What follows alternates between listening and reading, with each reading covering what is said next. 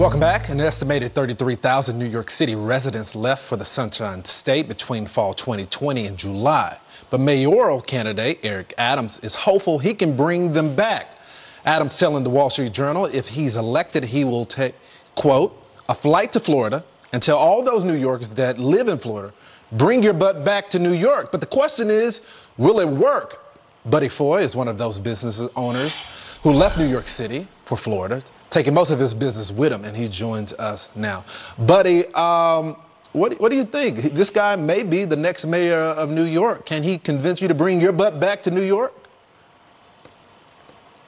Well, he may, is either mayor of Fairyland or New York City? Because the bottom line is, people got a taste of that sweet life in Florida, the tax break, the Sunshine State. It's going to be very difficult to pull that off.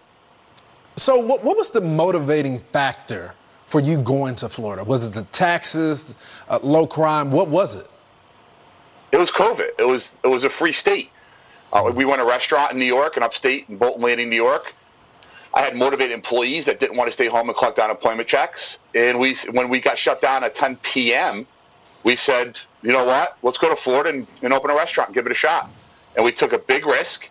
The Florida was open for business, and it worked out for us. And once you, so we were forced to move there. Yeah. we, we would not have done it without the policies that were taking place. Now that we're there, we're seeing the benefits of taxation uh, and the overall way they run that city from a freedom perspective. And we're full time Florida residents now. Buddy, could you ever see yourself coming back to New York? Well, I'm, I'm coming back in the summertime. We, we have our business in New York that we're now operating seasonal only. Don't get me wrong, we weren't packed during the wintertime because we are in a seasonal town, but we did stay open. We did employ people. We did pay New York taxes. Now we'll be paying our New York sales taxes. And as far as everything else goes, no, we do not see ourselves moving back to New York. Buddy, I only got a few seconds left. What is life like in Florida? Because the mainstream media has a way of covering it in this derogatory sense. So t- tell me what it's like in Florida. Lawrence, it's it's freedom. People are respecting each other. They've got masks if they're feeling sick. It's no one's harping on people. Are you vaccinated? You're not vaccinated. It's a freedom state and it's it, it feels like living in the USA. Florida feels like the USA used to feel like, and it's phenomenal. And Lawrence, we love it.